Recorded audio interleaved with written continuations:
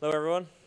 It's good to see everyone in person. Uh, much better than uh, being online like it previously has for the, for the last meeting. So um, it's nice to see you all.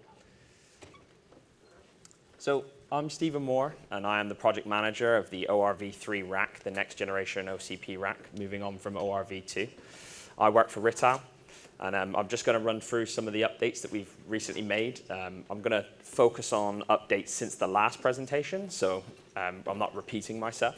Um, but it, there's some, some good developments we've been making recently um, based on a lot of test feedback that we've been having entering into the EVT phase of this project. So some of the topics that I'm going to cover today, um, starting with the differences of features between ORV3 and ORV2. I think a lot of people here might be familiar with the new features now, but uh, just a reminder for anyone that is new to this product. Then I'm going to go into some of the, the rack testing and what, what, what's actually the testing that we're going through on the ORV3 rack. Um, and th this is fed into the spec from Facebook, Rittal, and also the ASTM standards from America. EVT rack developments, I'm just going to touch on the initial test developments that we've, we've recently been doing, some rack improvements, which are just general improvements for usability of the rack, cooling FEA, some of the cooling FEA that we've been doing for um, some of the cooling manifold manufacturers. Airflow management, um, which is very similar to V2 today, but we have to obviously have those same features in ORV3. And then finally, some brace beam developments. Um, so one of the requirements of V3 is having that movable beam, so we'll go into some of the detail there. And then finally, just an overview of the test results that we've, we've had since making some of these updates.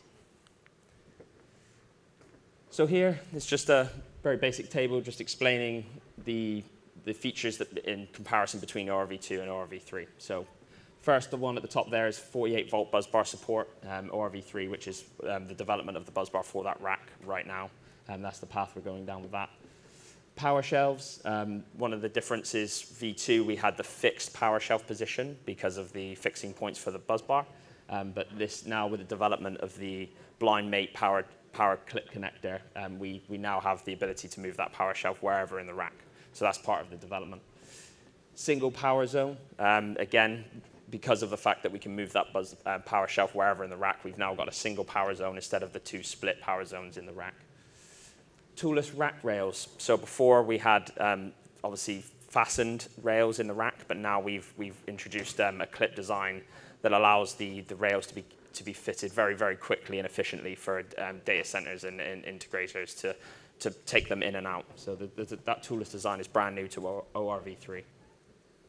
We also have RU gear support. So beforehand, obviously, it was only the OCP OU size support, but now we ha also have the RU support um, by a unique design in, in the vertical member. Um, we actually have a, an ORV3 rack at the Rittal stand, so if you wanted to get familiar with any of these, these points that I'm raising here, you can always come to the stand and we can answer some of the questions um, and highlight some of these, these, these key features I'm listing out here. Another, another thing there is the um, quantity of the gear that we can now store in ORV3. It's increased from 40 OU up to 44 OU, and obviously the addition of the, the RU there as well. Um, modular rack, so um, cabling, provide modular cabling solutions. So before on V2, um, we have the, the, the, fixed position for the cable management at the front. Um, now we have a modular cable manager which we can either remove or um, even update to a, a, different kind of cable manager that can be fitted. Um, and this allows for much more modularity when baying the racks, transferring cables from left to right. Um, beforehand, it was more difficult, whereas now with the modular cable manager we can remove, it's much more simple. Support of the optional rear cable backplane. So um, it's a new feature. Um, to the left of the bus bar, there's now features to put in a data backplane um, for new developments in technology. Movable horizontal frame support. So this is the beam that I mentioned earlier. Um, this allows for um, the different um, configurations that we, now, we are now seeing. Um, there's some equipment which is, say, a 5OU large equipment, and it's sometimes difficult to position correctly in the frame with certain integrations. So having the, the, beam movable within the frame allows for multiple um, avenues of integration of those large, large pieces of equipment. The other thing that's increased is the, the maximum load of this rack. So beforehand, the ORV2 was only able to hold the 1,400 kilos, uh, but now this is now increased to 1,600 kilos. Um, and this was required for the, the addition of, of the cooling manifolds and the other developments that are now going to be included in the ORV3 rack. And then finally at the bottom there, as I just mentioned, the cooling manifold support is new and, and the hex door support as well. So here's just a picture there of, of the list of tests that we have to do on the, each, on the rack during development. Um, some of the highlights of that is the shock and vibration testing, um, which is a standard test we've done for a long time, but that's something we have to repeat. Um, transportation test, which is a real world transportation test where we put the rack on a truck with the loaded weight, and we obviously review if, to check there's no damage made after that, that transportation test. Impact tests as part of the ASTM standard testing um, to replicate shipping on sea, via sea or air. Um, some of those tests are quite um, uh, difficult to pass. So as you will see in some of the, the developments we had to make to get past them in a minute. And then finally, deployment tests. So this is the sort of test we do to replicate what the, the function of the rack in the data center. So that's rolling it to certain positions, you know, sometimes having to go for an elevator, um, when it has to go over a gap, you know, all those sorts of scenarios are tested in, the, in this testing uh, plan here. So one of the initial test developments that we made um, was from the, was on to the front vertical update. So um, on the cross-sectional plan there of the rack, you can see at the very front, um, highlighted there on the left is the front vertical member. So beforehand on V2, that was all one piece. Now we've separated, split it so that you can actually have the cable manager, the modular cable manager that I talked about earlier. And what we found on the front impact test was that the front vertical actually deformed. So um, this is something that we had to address, and we addressed that by changing the steel from DC01, which is the standard steel, up to S355 to have a higher yield strength. We also increased the thickness of the material from 2 to 2.5 millimeters. And then we also increased the depth of the cross-sectional area to increase stiffness as well. So it just shows you how difficult these tests can be to pass because of the, the amount of force that's generated, especially with the increased load of 1,600 kilos. So um, this is one of the updates we had to make. So another update we made was to the cable manager. So when the, the front verticals um, actually deformed during testing, the cable manager also um, deformed. Um, and there was also then concerns that the amount of weight from the cables that would be fitted to the cable manager would actually see some deformation of the cable manager. So a couple of the updates we made for that, we added fixing points to the cable manager, but initially we had fixing points at the top and the bottom, but we added fixing points to the, to the rear, to the middle vertical member in the center to help with the stiffness there. And we also introduced um, a tag and slot feature at the top and the bottom of the cable manager, um, which also prevents that from swinging as well. So it locks that cable manager in there, and it, and it helps with assemblability of reducing the amount of screws there. Another update we had to make um, on the initial design of the beam, when we tested that, we actually seen failures um, at the weld sites on the left-hand and the right-hand side of the beam as it sits in the frame. Um, that is one of the biggest challenges with, with the rack when you're doing um, some of the impact tests. You tend to see um, what the bowing of the frame at the center. And so it's really important that the middle beam holds that rack in place. And when we did the initial tests, we've seen deformation in that beam. So this is what we introduced. We added a clamp plate. So as well as the welded beam being in place, there is an assembled plate that goes into both slots underneath into the vertical member, and it locks it in place. So that, that was one of the updates we did to address that issue. So another issue we had was um, during testing was the deployment tests that I mentioned earlier, with the rolling test and the what they call the one-inch gap test, which is rolling the rack over the one-inch gap, and it makes quite a loud noise, you can imagine, with 1,600 kilos. And the, so we, we were initially testing the ORV2 caster. So we know that that one's been fine for the 1,400 kilos, but obviously going up to the 1,600 kilos was a, a whole other kettle of fish. So one of the updates we had to make is introduce this new twin wheel caster. Um, and this, some of the features they added to this was obviously the twin wheels that helped with maneuverability. They also added a wheel bearing. Um, this is the bearing um, which was within the, the, wheels itself, and that, that, that helped with the, the rolling test. So it helped with durability during the rolling test. the rolling test we have to do is an 800 meter long rolling test. And that, that was where we seen the real issues with the other caster, and, and this bearing improvement addressed that. The other thing that they update, updated was the main structure. So that was the main horn and the large bearing um, diameter in, in the actual caster assembly itself. And this, this helped with the one inch gap test because there's quite a lot of impact there and we actually seen deformation in the horn. And so that update addresses that. So another update, um, this is more rack improvements. So this was um, related to testing, but more to do with usability. Um, the leveling foot test that we have to complete for this rack is, is quite, um, quite a challenging test.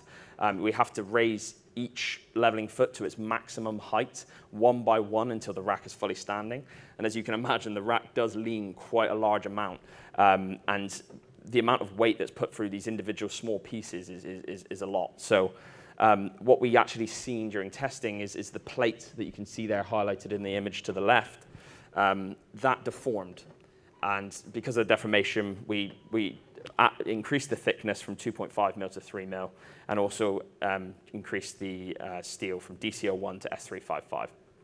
So, and if you were wondering why the plate feature is there, on a previous presentation we, I, I presented here at OCP, um, that plate is actually there um, as a removable plate, and it allows to remove the leveling foot if it's ever damaged um, in, in the data center and then be replaced easily because in the past we had had issues where if a leveling foot got damaged, sometimes it was a scrapped rack. So hopefully this solution will, will definitely solve that.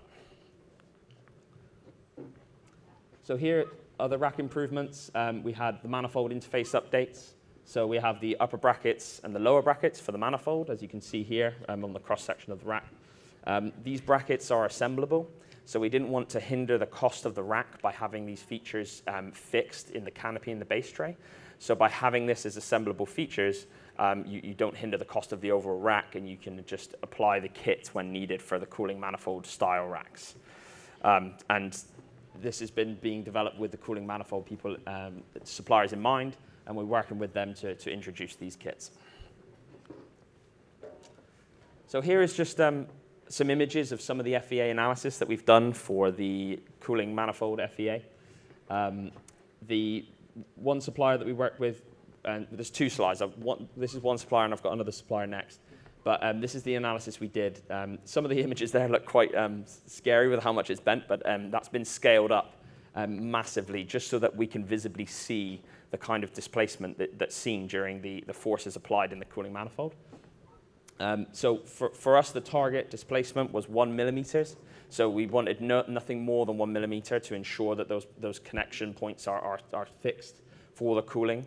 Um, and as you can see, um, the upper displacement was only 0.67 and the lower 0.68. So that was within the boundaries, and we were able to progress um, after that analysis was complete. So this is supplier two. Um, as you can see, some slightly um, different data points there, but uh, again, it, it was a pass. Um, and some just this is just an example of some of the work that we, we, we do for not just our obviously our own rack, but things going into the rack. So part of the spirit of OCP is, is you know working as a team with all these um, different technologies, and, this is the support we, we've been providing for development of the rack overall. So here is um, some topics of, about the airflow management.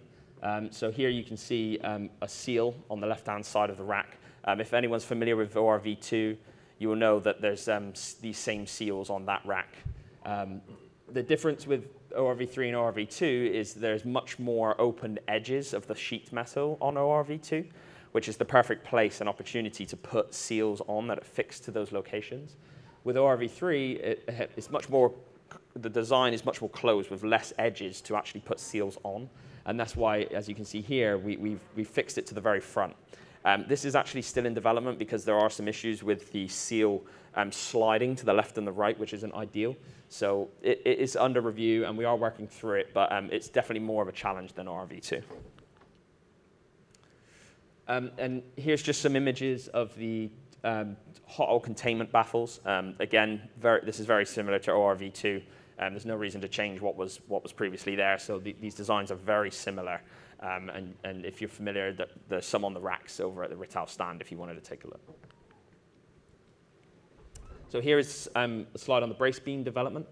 As you can see, um, this is just some examples of where the beam can be moved to within the rack, either in the middle, um, plus or minus 5 OU up and down from the center.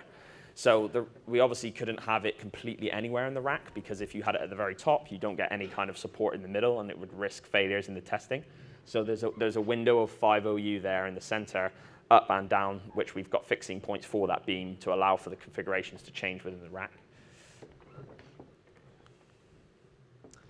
So here is some analysis that we've done um, with, the, with no beam in the rack. So there also is the, the, the, need for some solutions that don't have any beam, but obviously that will be limited by the amount of load that could be put in that rack without seeing deformation. And here is just some analysis that has been done um, through FEA, um, knowing the displacement of datum A, and, and just so you know, datum A of, of in the is the depth of the rack, and that's from the bus bar to the, the interfacing clip edges at the front of the frame. So as you can see here, when there is no beam in the rack, you've got iterations of load at each color. So red, 1,400 kilos, gray, 1,200, and then the bottom two there as well.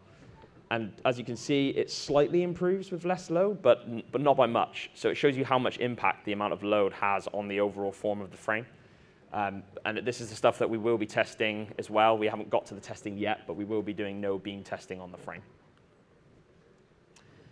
And then just finally on the recent test results, so all of the updates that I just ran through, um, they were all um, put in place. We, we created a prototype and we've just gone through iterations of testing. And as you can see, we passed the major testings um, that, that we failed on. The front impact test with the front vertical passed, so those changes were worked. The casted test um, of the rolling deployment tests, that worked as well, and we passed that test. Middle beam test was great. We didn't have any deformation of the beam. Shock and vibe passed was no problem, and the same for the transportation test. Also on the leveling foot with the plate change, with the increase in thickness and the DC01 test 355, that also passed as well. So it shows you the, the developments that we're responding with um, for the testing are, are, coming, to, coming through with a pass, which is great for the project and, and the cadence of the development of the rack. So if you wanted any more information about the, the rack and the specs that's involved with development of that rack, you could go to this link and you can see what we're designing around. Um,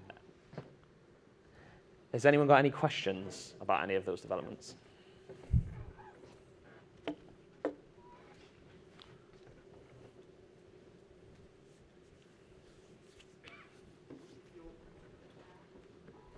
Feel your timeline is for the closure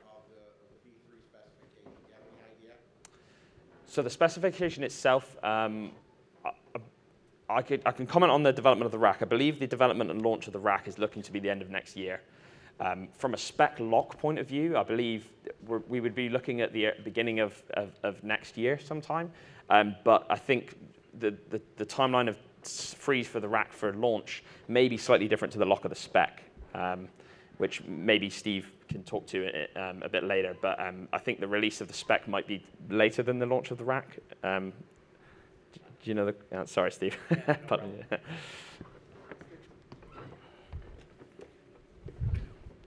so from a from a from a spec standpoint, we were hoping to integrate a lot of the changes that we're learning about right now um, and then have another publication uh, early next year, and then maybe send it for finalization towards the end of next year. So there is uh, some uh, public versions of it that are available right now, so you can see kind of where we're at, and we'll continue to kind of update the, the what's uh, available out on the website as we as we learn more.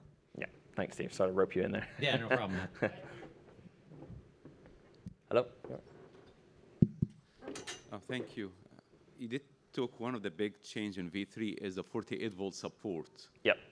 Okay, are you going also to regulate the output of the battery to make it a regulated 48 volt coming to all of the ITs? Or are you gonna keep it range 40 to 60?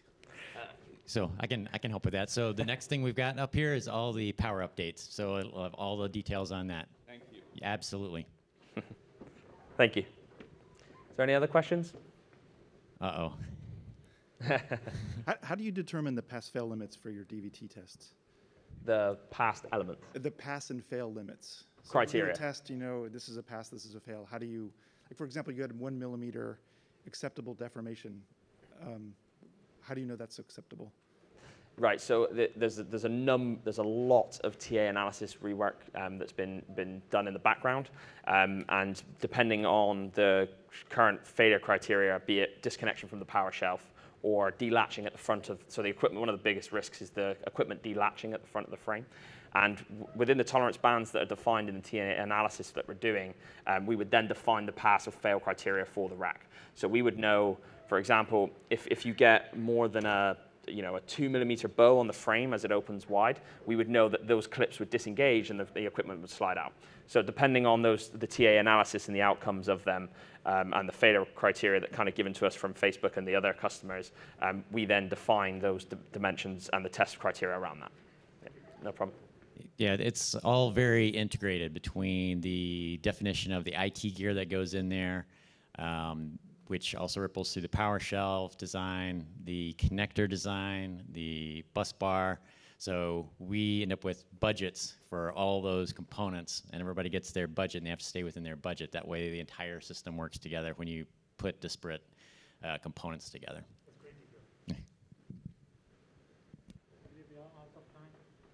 Uh, yep. Okay. Yep. All right. Yeah. Thanks, guys. Steve. Cheers.